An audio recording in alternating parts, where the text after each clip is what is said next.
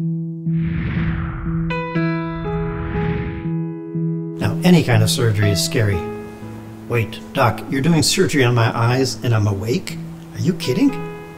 Well, it works. Now, you might think you're the most sensitive person in the world when it comes to your eyes.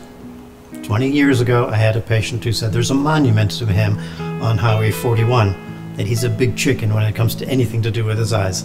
He did fine, and I've taken care of many chickens since then. Now, people always worry that they're going to see something scary during the surgery, but you don't.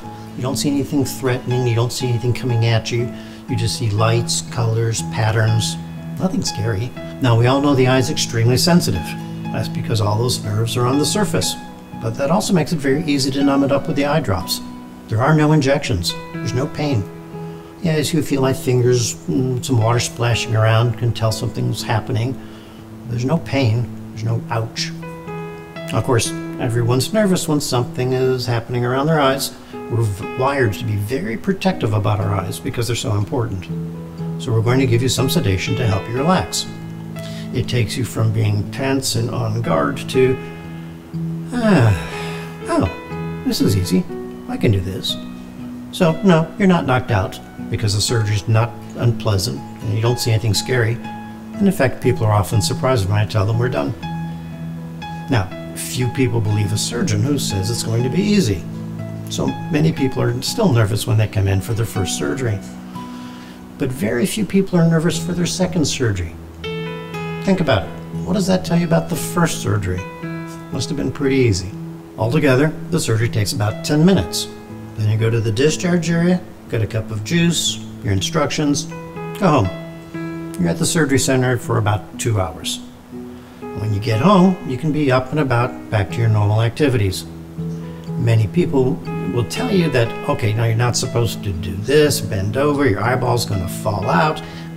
That's all a legacy from the way surgeries were done many years ago.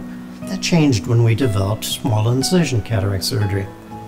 Many people don't realize that I was the first surgeon in Georgia to be doing no stitch, then no patch cataract surgery, and one of the first in the country.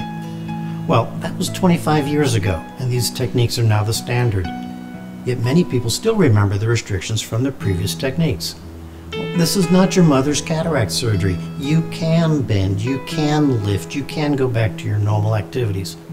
Now, when you get home, your vision will still be a little blurry, but you can see out of it because there's no patch on it. It's also normal for the eye to feel a bit scratchy when you get home. There is an incision, and whether it's made by a blade or a laser, it feels rough when the eyelid rubs across it. We recommend that you use the lubricating teardrops several times an hour until the eye is comfortable. Taking a nap often helps. And please, don't drive until we give you permission when we see you back the next day. Many of the steps of traditional cataract surgery can now be done with the accuracy and precision of a robotic laser. These are beautifully smooth incisions that prepare the eye for the most precise and gentle surgery possible. You know, if I gave you a pencil and asked you to draw a circle the size of a dime in the middle of another circle, you could probably make it pretty round and pretty close to the center and about the right size. But the laser's going to do it right every time. Well, even though I have done over 25,000 cataract surgeries, the laser can still make these incisions more accurately than even these experienced human hands. The laser is a pre-treatment that takes just a few minutes and is done in its own separate room before moving to the operating room. No sedation is needed at the laser because you're just laying down and looking up into the machine. It's really not scary. Not only is the laser more precise, but it can actually make incisions that are impossible to make with a blade, and it can also soften the dense central core of the cataract so that it can be removed more gently. The laser also reduces astigmatism. What is astigmatism? Well, very few eyes are perfectly round. When a lens has a warp in it, as shown here, then it has astigmatism and that causes a blur. The laser, by making an incision here and here, allows the eye to become more round, has less astigmatism, less blur, and less need for glasses. This is an amazing technology, but some people have concerns about anything that involves the word laser. Let me make this simple. Someday, when I'm having cataract surgery, it'll be done with a laser. It is simply a better way to do cataract surgery. This technology is expensive, however, and not everybody can afford it. We do not push it on people.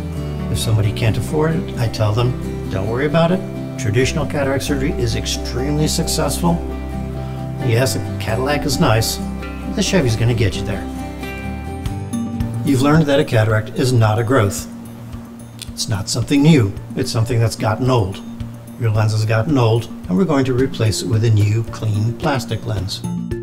We'll discuss the lens options during your consultation. The surgery is easier than you may imagine.